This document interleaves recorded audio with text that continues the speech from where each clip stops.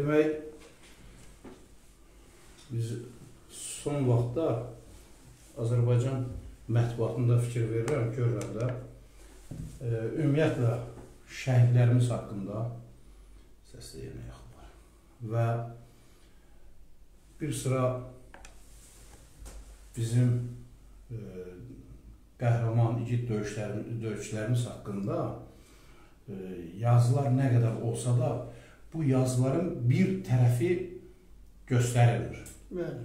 Hansı tərəfdir? Onun əsas siyasi tərəfi. Göstərir. Bilirsən, e, nədən bu Qarabağ müharibəsi yaranır? Və bu müharibənin kimlərdir marağında? Bəli. Və bu gün Azərbaycanı parçalamaq istəyən kimlərdir? Bunu heç gizlətmək də lazımdır. Bu gün e, çox adamlar qorxur. Bilirsiniz, e, fikirləşirlər ki, vəzifədən çıxarılsa da e, bu adamlar, bunların Azərbaycanda e, bir sıra e, şəbəkəsi var, əlaqələri var və o insanlar bizim cəmiyyətdə fəsadlar törədə bilərlər. Yaxşı, onda biz nəyi gözləyək? Durub gözləyək ki, bunlar fəsadları törətsinlər. Ona görə e, biz bu fəsadların qarşısını almaq üçün e, kəskin mövqe bildirməliyik. Deməli, sikkənin iki tərəfi var. Bəli. Ya o tərəfi, ya bu tərəfi. İkisindən biri olmalıdır. Ona görə də biz bir mənalı şəkildə bu hadisələrdə bildirməliyik münasibətimizi. Bu vaxta qədər gözlədik, bu vaxta qədər sakit durduq, hakimiyyətdə olanların bəzilərinə yaltaqlandıq, bəzilərini qaldırdıq, az qala Azərbaycanın ən böyük e, ictimai xadimlərindən etdik. Bunlar hamısı nəticə etibarı ilə xalqın başındasınız. Bax biz yaltaqlanmağı, biz e, yarınmağı öyrənirik gedə-gedə. Biz o vəzifədə oturan, hakimiyyətdə yüksək vəzifələr tutan insanları tənqid etmədikcə, onlara qarşı öz kəskin fikirlərimizi demədikcə, onlar azğınlaşır, şəbəkələrini yaradır, öz e, ətrafında özləri kimi Azərbaycanı sevməyən, əsli kökü erməniyə Bəli. və ermənidən başqa da Azərbaycanın düşmənləri var ha, tək erməni deyil. Deyil, bəli. Erməni atılıb tula kimi qabağa. Bəli, bəli. Bilirsiniz, o gəminin e, e, deməlisi e, topları var. Onlara Bəli. mərmilər qoyulur. Bəli, bəli. Və o mərmilərdən, ermənilərdən o mərmilər kimi istifadə edirlər. Əsas gəmi başqadır.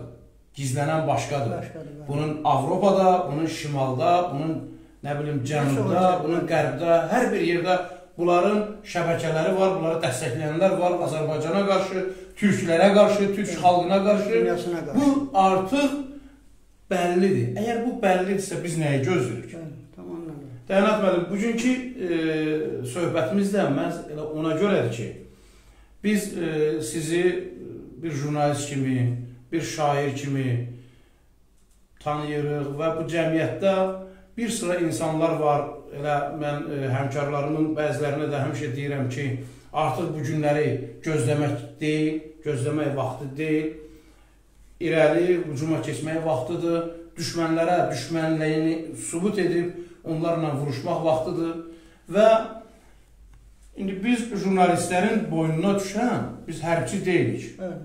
Biz polis deyilik, prokuror deyilik, hakim deyilik. Amma biz ictimaiyyətin diqqətini cəlb edən, ictimaiyyətin fikrini e, bu və ya digər məsələlərə bəli. insanlar ki, hansı ki, bu ictimai rəy bəli. İctimai rəy yaranır və bu ictimai rəyin nəticəsində də insanlar tanıyırlar. Sizin e, bir çox yazılarınızda vətənpərvərlik, vətənə sədaqət, vətən e, daş ruhu, vətənin daşı olmaq insanın borcudur mövqeyi görsənir və mən e, bu yaxınlarda sizin bir neçə kitablarınızla tanış oldum və bu tanışlıq zamanı gördüm ki, siz bir əsərin üzərində işləyirsiniz. E, deməlisi şəhid e, Yəhudi millətindən olan Azərbaycanlımız Albert Aqarinov barəsində e, əsər yazırsınız və bu günlərdə e, Tovuz istiqamətində, Tovuz e, deməlisi e, cəbhə bölgəsində baş verən hadisələr zamanı şəhidlərimizdən biri milli e, qürurumuz Polad bizim Həşimov. Polad Həşimov generalımız Polad Həşimov barəsində də məlumatım var ki, poema yazırsınız və bu poemanın e, müəyyən hissələri ilə mən tanış oldum. Orada bir sıra məqamlar var ki, istər Albert Aqarunovda, istər burada siyasi nöqtələr var ki, hansı o siyasi nöqtələri biz e, xalqa çatdırmalıyıq. Çatdırmalıyıq. İndi publisist dili ilə, ədəbi dillə, jurnalist dili ilə biz hər halda bu işlərin üstündə çalışmalıyıq və bunları xalqa çatdırmalıyıq. Bax sizin fəaliyyətinizdə, fəaliyyətinizdə bir sıra məqamlar bu poemada öz əksini tapıb mən tanış olduğum yerlərdə və istərdim ki, siz özünüz yaxşı olar ki, öz daxilinizdə, Evet. içinizdə bu poema haqqında nə fikirlər var, bu poemaları yazmağı sizə vadar edən nə oldu, marağınız nə qədərdir və bunları bir qədər bizim e, dinləyicilərə, bizim izləyicilərə, e, Hakimiyyət TV-nin, o cümlədən də Hakimiyyət qəzetinin e, Facebookdakı canlı efirdə izləyicilərinə danışasınız. Təşəkkür edirəm. Mən hakimiyyət e, istər hakimiyyət TV-nin e, dinləyicilərinə, onu əlbəttə bu yenicə yaradılıb, amma yenicə yaradılsa da qısa müddət ərzində artıq bu TV öz populyarlığını qazanmağa başlayıb. Yəni artıq dinləyicilərdə xeyli dinləyici auditoriyası artıq qazanıb. Beləsinə mən bu gün bura gəlməyim də və sizin qonağınız olmağım da e, buna e, səbəbdir. Yəni bunun əsasını, qayəsini təşkil edir. Və diqqətinizə çatdırım dediyiniz kimi, e, demək 1900 belə ki, 1992-ci ildə demək Qarabağ torpaqlarının azadlıq uğrunda şəhid olan, əslən Yəhudi olan Albert Aqarinovun e, demək e, 19-cu ildə 2019-cu ildə 50 illik yubileyi ərəfəsində mən müharibənin sonuna kimi adlı bir lirik dramatik poemanı yazdım, ha- tamamladım. E, və diqqətinizə çatdırım ki, o e, poemada e, demək Albert Aqarinov Azərbaycanda yaşayan Yəhudi əsirlidir və e, ümumiyyətlə tarixi dostluğu qədim olan Azərbaycan və Yəhudi xalqlarının e, demək milli qəhrəmanıdır. Bəli. Və hətta o vaxt cəbhəyə gedərkən e, ona jurnalist sual verir ki, e, siz nə vaxta qədər burada qalacaqsınız? Deyir müharibənin axırına kimi. Məsələn, məhz ona görə də mən kitabın əsərin adını müharibənin sonuna kimi qoymuşam. Və diqqətinizə çatdırım ki, ümumiyyətlə kitabda ən çox nədən bəhs edir? 1918-də bilirsiniz ki, Qubada soyqırım olub, Quba soyqırımı. Orada 3000-dən artıq Yəhudini məhv ediblər, qətlə yetiriblər və bu işin təşkilatçıları ermənilər olublar. Bunu Yəhudilər özləri də bilirlər, çox yaxşı da bilirlər. Və ən nəhayət deyək ki, bundan da sonra yenə 41-45-ci ildə Holokost yanmış, kül olmuş e, mənasını Faşizmin bəli, ermənilər- bəli, onlar ermənilər erməni faşizmi ilə, Alman faşizmi, Alman faşistlər birləşərək bir təşkilat yaradıblar Yahudilərə qarşı. Orada e, səhv etməsəm 7 milyona qədər Yahudi orada e, o Bəli, vaxtları demək onlar Yahudini qətlə yetiriblər. Bu gün dünyada gedən proseslərdə onlar gözəl bilirlər ki, ermənilər həm e, Azəri türklərinin düşmənidir, həm də onlar Yahudilərin düşmənidir. Bu poemada əlbəttə Albert Aqaminov haqqında poemada bu öz əksini bunlar e, fəsil boyu tapıldı və eyni zamanda ümumiyyətlə Albert Aqanovun igidliyi, göstərdiyi igidliklər, şücaətlər bu əsərdə öz e, əksini tapıb və eyni zamanda onun 50 illiyində e, CBC kanalı mənim 5 5 dəqiqəlik mü- müsahibəmi verdi və fevral ayında 2019-un fevral ayında da e, demək Ayrqurt e, məni qəbul etdi, Yahudi e, olan, yəni e, nazirin köməkçisi, müşaviri və mənə təşəkkür etdi ki, siz belə gözəl bir əsər yazmısınız. Hətta onların naziri e, Binyamin Netanyahu'nun da bu əsərdən xəbəri var və bu əsər e, onlar tərəfindən çox yüksək qiymətləndirilib. Əsərin bir gec e, çapdan çıxmasına səbəbsi e, şəkillərin müəyyən şəkillərin gec gəlib əlbəttə təbii olub mənə çatması oldu. Artıq əsər e, çap prosesi gedir. Bundan sonra ümumiyyətlə e, ikinci mənim e, vətənpərvərlik mövzusunu yazdığım ikinci bir əsər isə demək e, Tovuz hadisələrində şəhid olmuş Azərbaycanın mən əsərdə onu göstərmişəm milli qəhrəmanı. Burada mən deyirəm ki, xalqlar, xalqın qəlbində, xalqımız öz qəlbində, öz dilində ona milli qəhrəman deyir. Bəli. Ona milli qəhrəman adını verib xalqımız ona. Xalqın ürəkləri, türk dünyasının qəlbində. Və e, demək Polad Həşimovun qəhrəmanlıq tarixindən bəhs edir. Və mən sizin diqqətinizə bir məsələni də çatdırım ki, buradan Poladın obrazında, Polad Həşimovun, generalımızın obrazında əsrlərlə Azərbaycan oğullarının, Azərbaycan ziyalılarının, Azərbaycanın tanınmış, ta müşfiqdən Cavidədə, repressiya dövrlərində bütün bunların hamısının məhv olmasına, qətlə yetirməsində birbaşa ermənilərin iştirakı var. Şübhəsiz, şübhəsiz. Erməni- Erməni bizim elə bir ki, Bəli, bəli. bu iki əsrdə, son 2-3 əsrdə hazır düşmənimizə çevrilərək bizə qarşı qarşı bəli. Və bu günləri də və bu günlərdə onların mən bunu cəsarətlə bu günlər sizin efirinizdən deyirəm ki, onların bu gün içimizdə oturan dayıları, onların adları da türk adlarıdır. Sənədlərdə türk sənədlərdir, amma onların kökü ermənidir. Onlar ermənidən əmələ gələnlərdir. Bu gün oturublar bizim içimizdə, onlar əksəriyyəti vəzifədədirlər və bu günlərdə o zülmü bu xalq eləyirlər. Ancaq bu xalq hələ susur. Niyə susur? Nə üçün susur onlara qarşı? Mən onu deyə bilmirəm.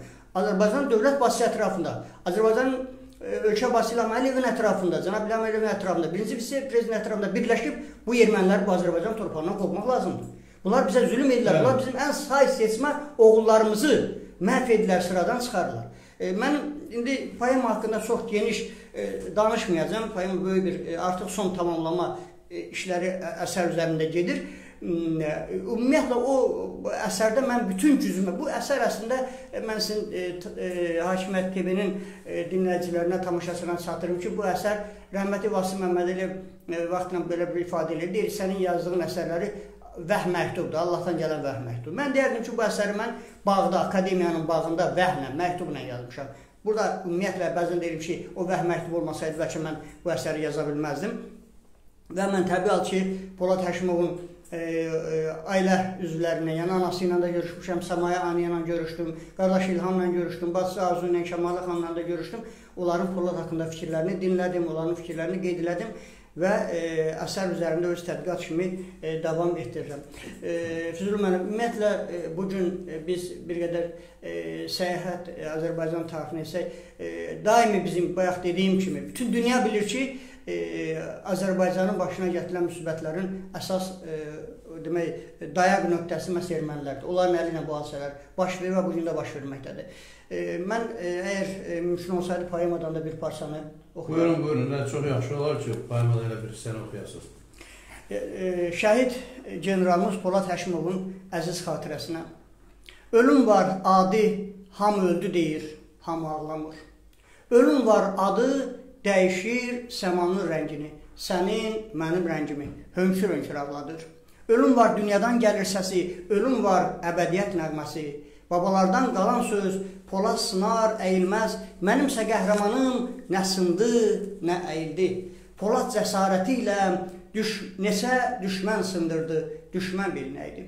Düşmən uzaq başında, bunu da babam deyib, çırpıb hiccəmi yerə islatdım göz yaşımda. Qaradağlı səması igid oğullarımız vətənin üzərində uçdu vətən səsinə, tuş gəldi erməninin arxalı gülləsinə. Göylərdə şəhid oldu Məhəmmədim, İsmətim, general şəhidliyim Poladın da qisməti.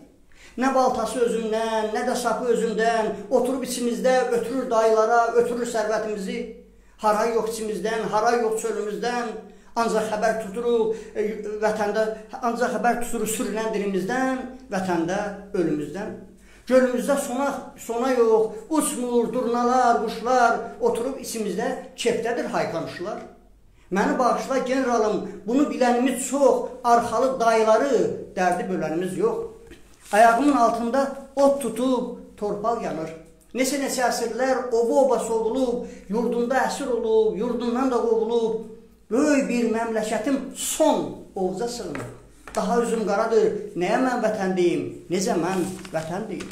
Neçə qərinə belə bu bir düşmən talanı, neçə illərdən bəri tərk edir sıramızı igid oğullarımız.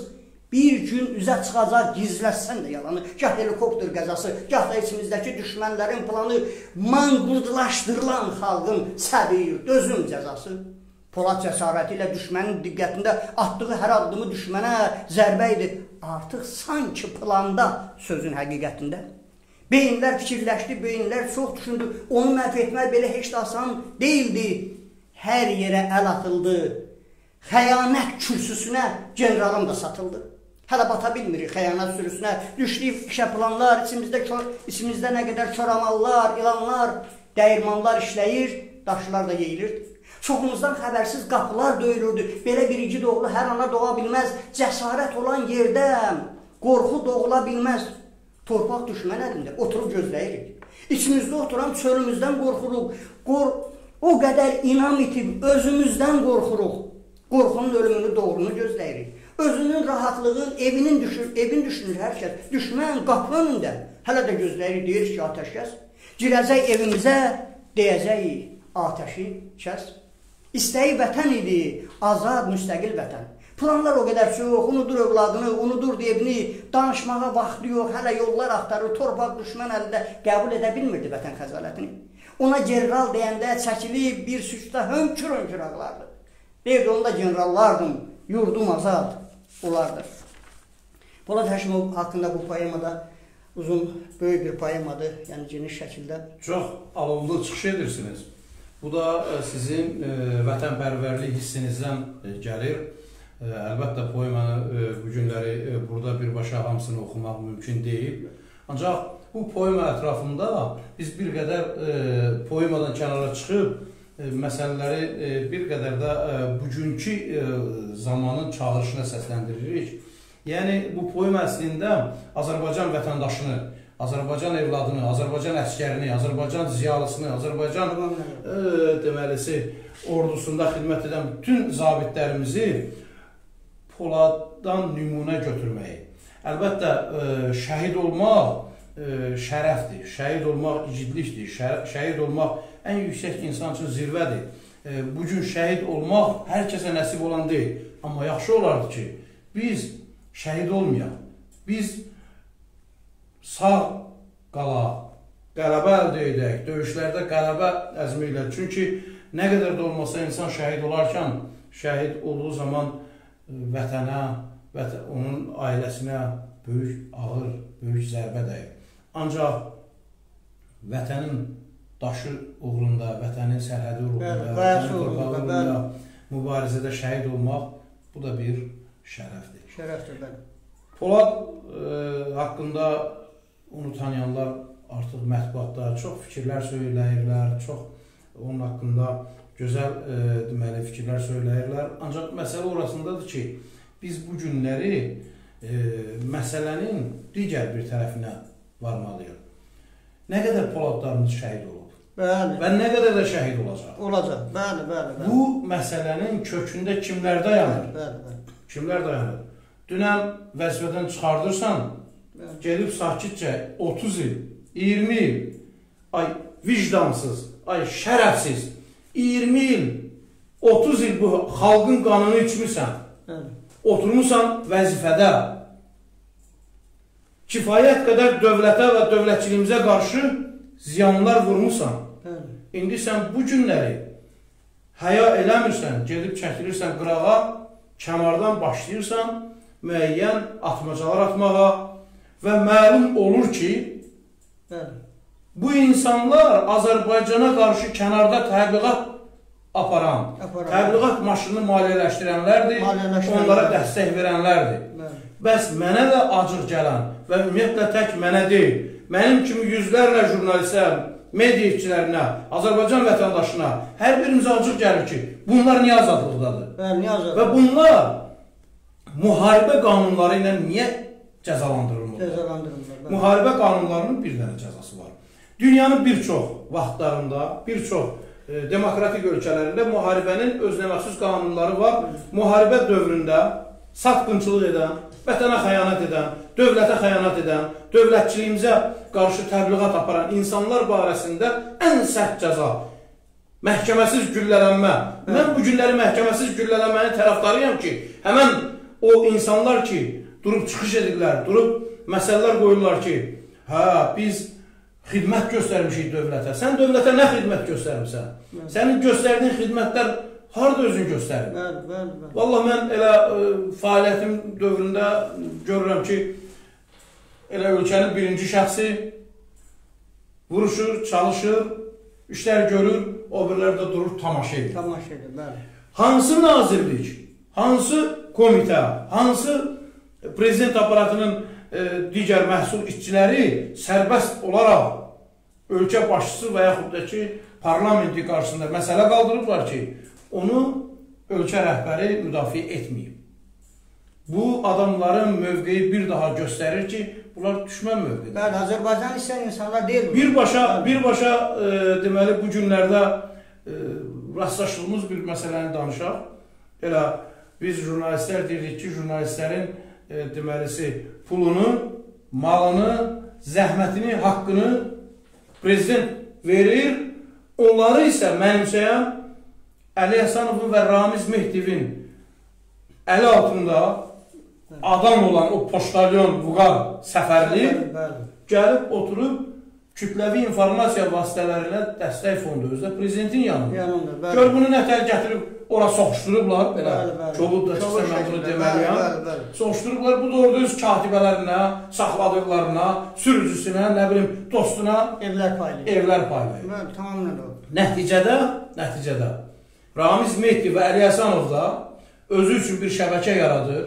Onlara Azərbaycanda, Azərbaycanda müxalifətçi adı ilə e, deməlisi dövlət və dövlətçiliyə qarşı yazılar yazdıra, yazdıraraq Bəli. və sonra onları burada həbsdən əf yolu ilə bilirsiniz ki, Azərbaycan prezidentinin yanında əf komissiyasının sədri Ramiz Mehdivdir. Bu Ramiz Mehdivin əli ilə bir çox bu tipdə adamlar əff olunub. Əff olunandan sonra bunlar xaricə qaçıblar. Xaricdə özlərini möhkəmlədiblər Və bu gün və bu gün Azərbaycanda topladıqlarını Bəli, bəli. xaricdə Azərbaycana qarşı istifadə bəli. Yəni bizim pulumuzla özümüzə qarşı mübarizə aparırlar. Da onda bu Ramiz Mehdivi nəyə biz azadlıqda saxlayırıq? Saxlayırıq. Onun ayağından, sağ ayağından olmaz. Onun sol ayağından baş aşağı bunu asmaq lazımdır. Hökmən, lazım. O cümlədən də o bir ara onun haqqında belə bir şeylər deyirdilər, yazırdılar. Deyirdilər, yox, Əli Həsənova qapançıq deməyin. O e, Hüseyn Abdullayevin yanında qapançıq işləməyib. Belə deməyin. Sən kimsən? Səni gətirib əgər bir nəfər xahiş edib dövlətin yüksək postlarına xahiş edirlərsə, ay Azərbaycan vətəndaşı, ay Azərbaycan xalqı, biz nəyi gözləyirik? İndi bunlar çıxıb, elə bilirsiniz ki, bunlar çıxandan sonra əl çəkiblər. Xeyr, iddialarından əl çəkməyiblər. Fikirlərindən əl çəkməyiblər. Onlar Azərbaycanın sərhədlərində çaxnaşma yaratması üçün Rusa, bəli, Rusa, birbaşa Rusa, sonra Erməniyə, sonra digər insanlara satqınçılıq edirlər. Vətənimizi satırlar, millətimizi satırlar, xalqımızı satırlar. Özlərinin qoyduğu qaydalarla Azərbaycanda Azərbaycanı sevən jurnalistləri, Azərbaycanı sevən müəllimləri, Azərbaycanı sevən vəzifəliləri, məmurları məhv edirlər. Ziyanları məhv edirlər. Bəli. Bəli. Bəli, bəli. Üstə gəl də, üstə gəl də. Baxın, bunların pulları Azərbaycanda deyil. Bunlar öz əmlaklarını xaricdə alırlar. Azərbaycanın pullarını çıxardırlar xaricə. Bəli, bəli. Mən başa düşə bilmirəm. O gün mən keçən dəfə öz müraciətimdə Elmlər Akademiyasına müraciət etdim. Onların ziyalarına müraciət etdim ki, siz bu Ramiz Mehdiyevi nəyə saxlayırsınız? Bunlar Azərbaycana qarşı. Bəziləri fikirləşir ki, bu oyundur, hakimiyyətin oyunudur. Bunu deyənlər yanılırlar, səhv edirlər. Xeyr, belə oyun olmaz qardaş. Belə oyun olmaz əziz vətəndaş. Olmaz belə oyun. Bu Ramiz Mehdiyev 30 ildir biz bilirik Azərbaycanın başına nə oyunlar açır. Hə. Sizin bəziləriniz ola bilər ki, Ramiz Mehdiyevi tanımırsınız. Əlbəttə, bu gün elə bizim bəlamız orasındadır ki, Azərbaycan xalqını Ramiz Mehdiyev, Əli Həsənov kimi nankörlər bütünlükdə siyasiləşdirib onları öz işləri ilə məşğul olmaq deyil, ancaq siyasətə sövq ediblər. Bu gün Azərbaycanın kənd təsərrüfatını dağıdanlar, Azərbaycanın iqtisadiyyatını dağıdanlar, Azərbaycanın vergi sistemini məhv edənlər, Azərbaycanın Təhsil sistemi. təhsil sistemini məhv edənlər, Azərbaycanın jurnalistikasını məhv edənlər, siyasiləşdirənlər məhz Ramiz Mehdiv və ideologiya ilə məşğul olan Əli Həsənovlardır. Və onların şəbəkələri davam edir. Onların şəbəkələri hələ vəzifədədir. Onlar nə qədər çıxmasa, onlar şəbəkələr dağıdılmasa, Onların əli ilə seçilən deputatlar, deputatlar, bəli, bu milli məclisdə əyləşənlərin 80% Ramiz Mehdiyev və Əli Həsənovun adamlarıdır. buyurun, belə adamlarla vuruşmaq lazımdır. belə adamların toxumunu kəsmək lazımdır. Onlar nə ölkə başçısına, nə ölkə baş, nə birinci vitse prezidentə Mehriban xanıma imkan vermirlər işləməyə. Heç bir imkan Verməyəcəklər. Verməyəcəklər. Qara yaxmalarla məşğullar. Blogerlər oturub xaricdə. Onlar kim? Bunlar hansı bunların adamlarıdır? Ramiz Mehdiyevlər, Əli Həsənovların adamlarıdır. Maliyyələşdirdiyi adamlardır onlar. Bəs- oturub onlar ölkə dövlət başçısına qarşı, bu səbəbdəndir ki- ailəsinə qarşı bu cür hərəkətdədirlər. Bəs- Biz jurnalistləri çağırırıq. Gəlin birləşəyin, hörmətli jurnalistlər, həmkarlarım, qələm əhlim. Biz bunlara qarşı mübarizə aparmalıyıq. Bunlar cəzalanmalıdır. Bunlar imkan vermir cənab prezident İlham Əliyev. İmkan vermir İrfan xanıma işləsinlər. Xalq üçün, millət üçün işləsinlər. Biz bu insanların saxtakarlığını, bu insanların vicdansızlığını tez-tez dönə-dönə xatırladırıq ki, əziz xalqım aldanmayasınız. Aldanmayasınız və aldanmamaq üçün də daima Azərbaycanda düzgün istiqamətdə olan media orqanlarına, jurnalistlərə diqqət yetirəsiniz. Onların çəkdikləri süjetlərə baxasınız. Onların hazırladığı süjetlərə baxasınız. Reportajları baxasınız, dinləyəsiniz. Yazılarını oxuyasınız. Bugün o kənardan Azərbaycana qarşı köklənən, yüklənən media orqanları, onlar media orqanları deyil, onlar qarayaxma kampaniyasına məşğul olan Azərbaycan dövlətçiliyinə zərbə vurmağa çalışan Azərbaycanın rəhbərini, Azərbaycanın prezidentini və birinci vitse-prezidenti Mehriban xanım Əliyevanın gördüyü işləri gözdən salmaq üçün fəaliyyət göstərən orqanlardır. Mən sizi inandırım, bizim bugün əsas bəlamız Qarabağ məsələsidir.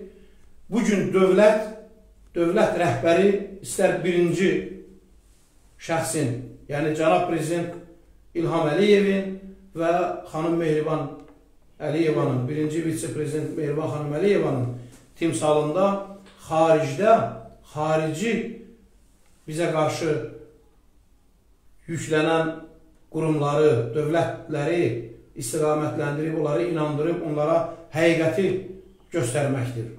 Çünki Azərbaycan dövlətinin adından səlahiyyətli şəxslər bu insanlardır. Bəli. Biz də bu işə dəstək verməliyik. Əslində biz daxildə olan düşmənləri prezidentə çatdırmaqda onlara kömək edirik, köməkçiləriyik. Biz bugün Azərbaycanların, Azərbaycan evladlarının şəhid olmasının səbəblərini axtarırıq. 90, 91, 92-ci ildə mən 93-cü ildə el qəzisində millət qəhrəmanları kimlərdir yazısını vermişdim. Və o yazıda böyük bir faktlar vardı. Lənkəran batalyonunda gənc uşaqların arxadan güllələnməsi və o cümlədən Ağdərə əməliyyatında alınmış Ağdərənin və bir çox bizim rayonlarımızın, kəndlərimizin, ərazilərimizin ermənilərdən təmizləndikdən sonra Azərbaycan ordusunun gənc əskərlərini gülləsiz, silahsız qoyub təxribat törədən Azərbaycan ordusunun satqın zabitlərindən, Azərbaycan ordusunun satqın müdafiə nazirindən və o dövrdə milli qəhrəmana çevrilmiş Sürət Hüseynovundan yazmışdı. Dərhal məni apardılar Sürət Hüseynov baş nazirdə onun yanına və onun da ətrafında bir sıra insanları yığdılar ki, bunu aparın, yəni məni aparsınlar Murova, mən orada görüm ki, Murovda bunlar nə böyük qəhrəmanlıq edirlər. Bir kəs onlara sual vermir ki, siz topu, tankı, avtomatı Bakıya niyə fırlatmışsınız? Hamısının arxasında bugün simalarını göstərən o dövrdə gizlənən satqınlardır. Ölkə rəhbərinə səhv məlumat verənlər ölkənin dövlət siyasətini başqa istiqamətə yönəldənlər, ölkənin müdafiə bazasını məhv edənlər və mənim yadımdadır Ayaz Mütəlliovun ikinci dəfə hakimiyyətə qayıtması prosesi. Mən orada olmuşam. Ayaz Mütəlliovun mənzilində olmuşam. Öz gözümlə görmüşəm ki, Ayaz Mütəlliyova kimlər zəngildir ki, Milli Məclisdə hər şey həll olunur. Şərəfsizlər bu gün də hakimiyyətdədirlər həmən adamlar. Ar olsun onlara. Onların qeyrəti olsa, vicdanı olsa, bu gün atarlar, çıxıb gedərlər, oturarlar xarabalarında. Amma onlar Ayaz Mütəllibova zəng elədilər ki, Milli Məclisdə hər şey həll olunub, gəlin. Ayaz Mütəllibov da sağda lövlü ilə oturdu, Milli Məclisdə gözləyirlər. Və Ayaz Mütəllibov qayıtdı Milli Məclisə. Milli Məclisdə oturandan sonra nə oldu? Ayaz Mütəllibovu təzədən orada məcbur elədilər ki, hə, indi gəlin bunu qovun. O insanlar sonradan Heydər Əliyevə başladılar əl çalmağa. Xoş gəldin deməyə. Sən gəl deməyə. İndi bu günlərdə həmən insanlar cənab prezidentimizə biz səninlə ihtiyar çalırlar. Biz səni sevirik. Amma baxın, o insanlardan bir neçəsi Ramiz Mehtivin nəvəsinin toyunda idi. Və Ramiz Mehtivə deyirdi ki, sən bizim az qala deyirdilər ki, atamızsan. Böyüyümüzsən. Buyurun, bu insanlarla biz hara gedirik? Bu satqınlarla biz hara gedirik? Bu vicdansızlarla biz hara gedirik? Bu vicdansızlar bizim kimi insanları şərləyib, görün Ramiz Mehdivin rəhbərliyi ilə nə qədər jurnalist, Dələduz, Reçet adı ilə, Əli Həsənovun sifarişi ilə, Zakir Qaralovun murdarcasına saxta iddiamları ilə, o şərəfsiz erməni köpək oğlu ilə Bəli. nə qədər insanlar ləkələndilər? Nə qədər insanların valideynlərinin ürəyi partladı. Mənim anamın məhkəmədən sonra ürəyi partladı. Mənim atamın mən həbsdə olanda ürəyi partladı. Bu biqeyrətlərin hesabına, bu şərəfsizlərin hesabına. İndi bu şərəfsizlər gedib xaricdə əmlaklar alıb veriblər. Amma mənimsə əmlaklarımı əlimdən aldılar, satdırdılar bandaqdelin əli ilə. Hansısa əxlaqsızların əli ilə. İndi bu günləri Azərbaycan əskərini arxadan vuran da, Azərbaycan generalının yerini satan da, Satan. Azərbaycan zabitini, Azərbaycan ordusunu məhv etdirən də bu şərəfsizlərdir. Gəlin bunları təmizləyək, gəlin bunları yandıraq, gəlin bunları məhv edək. Ondan sonra prezidentimiz rahat mübarizəsini aparsın. Ordumuz da rahat sərhədlərimizdə irəli gedərək düşmən tapdağı altında olan torpaqlarımızı azad eləsin. Demək Füzuli müəllim, üzr istəyirəm, Elmdar Səfərov kəşfiyyatçı olub. 14 erməni tankı vurub. Bu yaxınlarda onun bütün igidliklərini kim hardansa üzə çıxardıb YouTube-a qoyub ki, Səfərov heç yer Nefsarada dəfn olub. Bu haqqında bir dənə məlumat yox imiş ki, bu cür kəşfiyyatçı bir qəhrəmanlıq göstərən bir oğlun adı yəsirdə yoxdur. Qardaş bunu hamısını eləyən içimizdə oturan ermənilərdir. Erməni qanunla törəyənlərdir. Gör nə qədər bizim hələ bundan sonra tarix araşdırılacaq, araşdırmalar gedir. Nə qədər igid oğullarımız məhv olub, şəhid olub, deyək ki, bunlar tərəfindən öldürülüb, amma onlar üzə, yəni heç kim onu üzə çıxarda bilmir, araşdırır. Bunlar hamısı bunu örtbasdır eləyirlər. Əli Həsənovlar, Ramiz Beytiyevlər. Qardaş bunlar bunlara qarşı xalq öz sözünü deməlidir. Ramiz Beytev bundan sonra istifa ərizəsini verməlidir. Ramiz Beytev barmaq sirkələyir. Deyir, mənim ailəmə əl qaldıranın əlini kəsəcəm. Ramiz Beytev kimdir? Kimdir Ramiz Beytev? Bilirsiniz, bugün yenə də bir daha Azərbaycan xalqı tam şəkildə, mütləq şəkildə bilməlidir. Daxili düşmən təmizlənməsə, xarici düşməni biz əzə bilmərik. Daxili düşməni təmizləməliyik, ondan sonra xaricdəki düşmənləri məhv etməliyik. Mən e, son vaxtlar bəziləri ağzı göyçəklər deyir ki, İlham Əliyev bacarmır. Vallah, bu sözü demək çox asandır. Amma baxın, görün, cənab İlham Əliyevin ətrafında nə cür qurtlar kök salıblar. Siz bir yadınıza salın Heydər Əliyevin vaxtında Milli Məclisdə bir Rəsul Quliyevin istefa məqamına. O hadisələrin içində də mən iştirak etmişəm. Orada da mərhum Heydər Əliyevin bu mövzuda yaxınları ilə söhbət edərkən mən ailənin yaxın üzvlərinin birinin yanında olmuşam və o söhbəti eşitmişəm və bildirib ki və bilmişəm, məlumatım olub ki, artıq Gəncəbasarda və bir neçə yerlərdə qruplaşmalar var. Heydər Əliyev hakimiyyətindən razı olmayanlar var. Danışıqlarda istədikləri adamı istədiyi vəzifəyə qoya bilməyənlər var. Və bunların da başında bir neçə nəfər durur. Onlardan da biri Rəsul Quliyevdir. Amma Heydər Əliyev Rəsul Quliyevin müəyyən xidmətlərini o dövrdə əgər bu xidmət idisə, nəzərə aldı və Rəsul Quliyevi istifaya göndərdi. Və Rəsul Quliyev istifaya gedərkən yadınızda varsa, Milli Məclisə çıxış elədi. Mən öz səhhətimlə bağlı gedirəm. Amma getdi Amerikaya, gedəndən sonra Azərbaycana qarşı başladı müxalif qruplaşmalar yaratmağa və müxalifətçilik eləməyə. O cümlədən də Azərbaycana gedən bir çox digərləri. Qardaş, bu ölkədən əgər xoşun gəlmirsə, sən bu ölkədən könüllü, xoşlu gedirsənsə, nə üçün kənardan bu ölkəyə qarşı, bu ölkənin vətəndaşına qarşı mübarizə aparırsan? Gəlin, baxaq, Abbas Abbasov, kim başa bilmirəm, bu Abbas Abbasovun mövqeyi, o cümlədən də Azərbaycanın baş prokuroru olmuş Eldar Həsənov və o cümlədən də digərləri. Və mən e, bu günlərdə mətbuatı diqqətlə izləyirəm, gözləyirəm ki, bu gün sabah Elvar Məmmədiyarov da başını qaldıracaq. Heç Azərbaycan dövlətinin xarici işlər naziri kimi, baş diplomat, e, baş e, diplomatı kimi xaricdə hıqqana-hıqqana danışan Elmar Məmmədiyarov da indi bir də görərsiniz ki, bülbül kimi dil açır. Danışmağa başlayıb ki, hə, belədir, elədir, oyandı, mən nə bilim, bu işlərlə belə məşğul olmuşam, belə eləmişəm, belə eləmişəm. Azərbaycanı xoş niyyətlə satmışam. Elədiyim Azərbaycana qarşı ancaq xoş niyyət olub. Necə ki, Ramiz Meytiyev 25 avqust tarixli bəyanatında göstərir ki, akademiyanın saytında, dədəsinin saytı kimi oradan istifadə edilir, şəxsi saytı kimi. Oradan bəyanat verir ki, siz düz eləmirsiniz, biz bilirsiniz ki, Rusa qarşı bizdə burada çıxış edərkən nəticə necə olacaq? Qardaş, Nəticə necə olacaq ki? Ay əzizim, bu xalqı bu Rus, bu erməni neçə illər Rus erməninin əli ilə əzib. Digər tərəfdən Farslardan dəstək alıb.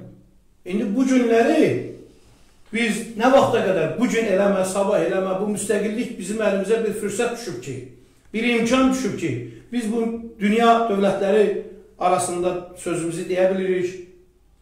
Dünya dövlətləri sırasında kifayət qədər imzamız var və bu fürsətdən istifadə edib itirilmiş torpaqlarımızın əlbəttə birinci Qarabağ, Zəngəzur, Göyçə, Dərbənd, Cənubi Azərbaycan itirilmiş torpaqlarımızı qaytarmalıyıq.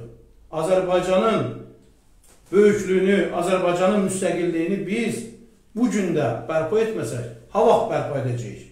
Mən deməyim, sən demə, o biri deməsin, kim deyəcək? Ramiz Mehdivlər heç vaxt deməyəcək. Bəli. Əli Həsənovlar heç vaxt deməyəcək. İdeologiyanı ələ keçirib Ramiz Mehdivlə birgə Əli Həsənov Azərbaycan televiziya məkanını ələ keçirib.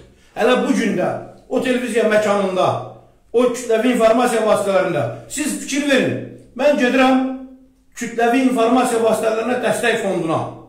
Bu günlərdə mənə sertifikat verildi. Üçüncü yerin qalibi olmaq münasibəti ilə Azərbaycan mətbuatının 145 illik münasibəti ilə keçirilən müsabiqədə üçüncü yerin sertifikatı almaq üçün getmişdim ora.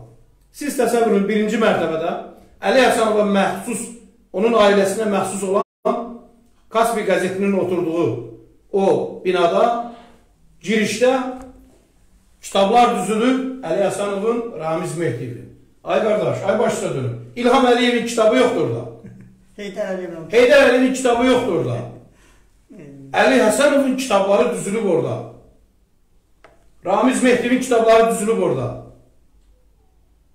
Ay qardaşlar, bəsdirin. Ay iki yüzlü məmurlar, bəsdirin. Bir dənə sifət göstərin. Bir dənə qucaqda oturun. Bir dənə mövqedə olun, bir dənə əqidədə olun. Bəsdirin. Gah bura atlanırsınız, gah ora atlanırsınız. Fikirləşirsiniz ki, olmasa belə, olsa elə eybi yox. Mən bu günləri bir daha cənab prezidentə, hörmətli birinci vitse-prezident Mehriban xanım Əliyevaya və o cümlədən də Azərbaycan kütləvi informasiya vasitələrində çalışan prezidenti və Azərbaycan xalqını və birinci vitse-prezident Mehriban xanım Əliyevanı dəstəkləyənlərə müraciət edirəm. Bəli. Artıq qardaş vaxtdır, Vaxtdır. mübarizə vaxtıdır. Bu adamlarla mübarizə aparmaq lazımdır. Biz onların ətrafında birləşməliyik. Mehriban xanım, prezidentimizin ətrafında biz jurnalistlər birləşməliyik. O şəhidlərimizin xatirinə. Bəli, bəli. Onların ruhu qarşısında biz borcluyuq. Borcluyuq, bəli. Biz belə vətən xainlərini, vətən satqınlarını cəzalandırmalıyıq ki, Bəli. onların ruhu şad olsun. Onları da cəzalanan, cəzalandıranda bizim torpaqlarımız azad olacaq. Üzülməli, mən sizə bir söz deyim. E, yəni artıq e, mən o e, generalımızın Sumqayıtda cənazəsi gətiriləndə gördüm. Sumqayıtda neçə bir 500 min adam ayağa qalxmışdı. Onun cənazəsini necə qarşıladılar. Bəli, biz də onun şahidiyik, biz də onun. Polad Həşimov Azərbaycanın milli qəhrəmanıdır. Azərbaycanın milli qəhrəmanıdır. Düz o adı almayıb, hələ fərmanla verilməyib. Ona da mane olan bu ermənilərdir, içimizdə olan ermənilərdir. Onlar da ona mane olan, onun igidliyini gizli olur. Çox aprel döyüşlərində Polad Həşimov böyük bir igidlik göstərir. Böyük bir igidlik göstərir. Və hətta onda da müəyyən söz söhbətlər yaranıb, cənab prezident onu çağırıb, deyib ki, general mayor rütbəsi verib aprel döyüşlərində göstərdiyi igidliyə görə. Cənab, Bəli. cənab prezidentə bunlar imkan vermirlər. Bunlar imkan vermirlər cənab prezident sərbəst şəkildə işləsin. Biz jurnalistlər cənab prezidentə Mehriban xanıma kömək eləməliyik. Onların ətrafında birləşməliyik. Artıq bizim başqa yolumuz yoxdur. Biz birləşməliyik, sözümüzü deməliyik. Bir daha bir daha bu fürsətdən istifadə edib həmkarlarıma müraciət edirəm. Bu çayxana söhbətlərini saytlara, sosial şəbəkədə yayanlara qarşı mübarizə aparın. Mətbuatda yayanlara mübarizə aparın. Filan general filan generalın qardaşıdır. Filan nazir filankəsin bacısıdır, nə bilim əmisidir, dayısıdır. Dəqiq olmayan informasiyaları yaymayın. Bu informasiyaları yayanlar gec-tez xəcalətdən yerə girəcəklər və onlar Azərbaycana qarşı düşmən mövqedə olduğunu görəcəklər və onların haqqı, onları da, onları da xalq tanıyacaqdır. Əziz bizi izləyənlər, əziz Hakimiyyət TV və o cümlədən də Hakimiyyət qəzetinin Facebookda izləyiciləri, o cümlədən də Facebookda mənə qulaq asanlar, məni izləyənlər, Sizə bir daha bugünkü çıxışıma görə təşəkkür edirəm, minnətdaram. Çox sağ olun, Allah sizdən razı olsun. Təşəkkür, sağ ol. Mən də söz təşəkkürümü bildirirəm, məni dəvət etdiyinizə görə və burada təbiətdə ilk dəfə, yəni bir geniş şəkildə bu studiyada iştirak elədik. Sözümüzü dedik. E, Sağlı olsun, yeni görüşlərədir. Çox sağ olun, minnətdarıq, Allah razı olsun.